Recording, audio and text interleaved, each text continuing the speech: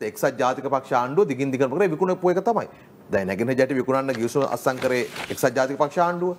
ඒ විතරක් නෙවෙයි ඊට අවුරුදු 18කට කලින් 2002 අවුරුද්දේ රනිල් වික්‍රමසිංහ මහත්තයාගේ ආණ්ඩුවෙන් තමයි ත්‍රිකුණාමල වරාය ආශ්‍රිතව තියෙන තෙල් ටැංකි ටික ඉන්දියාවට බදු හරියට බදු දුන්නෙත් නෑ ඒක.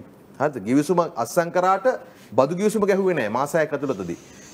දැන් මම විශේෂයෙන්ම කියනවා අධිකරණ ඇමති මොහොමඩ් අලි සබ්රි මහතා මහත්මයාට නීතිපති දෙපාර්තමේන්තුවට ඒ ෆයිල් ටික අරගෙන යන්න ෆයිල් ටික අරගෙන ගිහිලා 2011 දී මහින්ද රාජපක්ෂයාට මහත්මයාට මතක් කරලා දීපු තීන්දුව යලි මේ ආණ්ඩුවට ඉදිරිපත් කරන්න කියලා. ඒ මොකද්ද?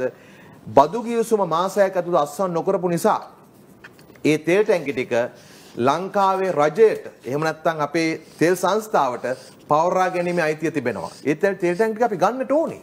දැන් නීතිපති දෙපාර්තමේන්තුව හරහා මේක වහම මේ තුනෙන් දෙකේ පාර්ලිමේන්තුවට ගේන්න මම හිතනවා තුනෙන් දෙකට වැඩි ප්‍රමාණයක් අරගෙන මේක තෙල් ටැංකි ටික පවර ගන්න පුළුවන්. ඒ තෙල් ටැංකි විතරක් නෙවෙයි අපිට වැදගත්කම තියෙන්නේ.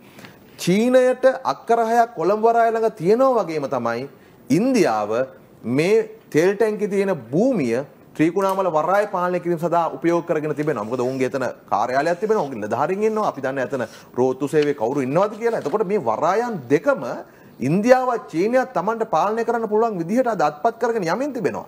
ආණ්ඩුවක් කීම තමයි මේ ජනතාවගේ අපේක්ෂාවන් ඉටු කරනවා නම් මේ තුනෙන් දෙකේ බලය පාවිච්චි කරලා වහාම මේ මේ ඉතිහාසයේ වෙච්ච වැරදි නිවැරදි කරන එක. ඉතින් එක් කොච්චර දුර කරන්න පුළුවන් ඉද කියලා අපි දන්නේ නැහැ. මොකද රටේ ජනතාවට යම් විශ්වාසයක් අපි හිතමු දිනේෂ් ගුණවර්ධන වගේ පරිණත දේශපාලන නායකයෙක් විදේශ ඇමතිවරයා වෙනකොට විශ්වාසයක් ඇති වෙන්න පුළුවන්. නමුත් අපේ උදේශාන්ත හිර මන්ත්‍රීතුමාගේ නායකයා විමල් වීරවංශ මහත්මයාම කියන හැටියට පාත් ෆයින්ඩ ආයතනයෙන් පඩිගන්න ඇමරිකාවේ න්‍යාය පත්‍රය ජනාධිපති ලේකම් කාර්යාලය තුල ඉඳලා ක්‍රියාත්මක කරන කවුද කොළඹගේ වගේ මහත්මයෙක් විදේශ ලේකම්වරයා කරාට පස්සේදී මේ විදේශ කුමන්ත්‍රණයට රටක් කොච්චර දුරට අහු කරගන්නවද කියන එක දැන් ක්‍රමක්‍රමයෙන් පැහැදිලිමින් යනවා. මොකද දැන් ඇමතිවරයා ජනතාවගේ ඡන්දෙන් අරගෙන ගියාට ලේකම්වරයා එන්නේ එහෙම ජනතාවගේ බලයකින් නෙමෙයි. එතකොට එවැනි චෝදනාවක් නගපු කෙනෙක් විදේශ අමාත්‍යාංශ ලේකම්වරයා බවට පත් වෙනවා කියලා කියන්නේ රාජතාන්ත්‍රික සේවාවෙන් පිට ඉඳලා එතකොට ඒ කුමන්ත්‍රණය දියත්වමින් තියෙන එක තමයි පේන්නේ. සහ දැන් ඇත්තටම රටට රටේ ජනතාව බලයක් දීලා තිබෙනවා. සමහරට නොඉල්ල බලයක් දීලා තිබෙනවා. ආණ්ඩුවට පහුගිය කාලේ කරන්න බෑ බෑ කියලා කරන දේවල් කරන්න. ඒ විතරක් නෙවෙයි මම කියනවා දැන් MCC ගිවිසුම සම්බන්ධයෙන් දැන් ආයතින් ඔය මේක බල බල ඉන්න දෙයක් නැහැ.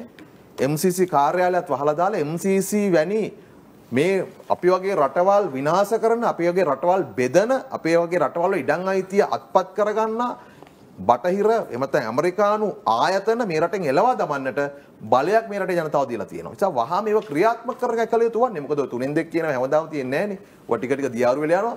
තුනෙන් දෙක ගත පළවෙනි වෙලාවේදී මාසයක් දැක ඇතුළතදී කළ යුතු වැඩ ප්‍රමාණයක් තිබෙන නිසා පළවෙනි වැඩේ හැටියට මම හිතන්නේ මේ තෙල් ටැංකි ටික පවර ගන්න ඕන නැගින ජැටි අයිතිය අපිට ගන්නට ඕන MCC කිසුම අහෝසි කරන්නට ඕන. නමුත් ඒව නොකර ඇමරිකානු පුරවැසිකම තියාගෙන කෙනෙකුට පාර්ලිමේන්තුවෙන් ඉන්න පුළුවන් බලය හදාගන්න එක හරි තුනෙන් දෙක පාවිච්චි කරලා.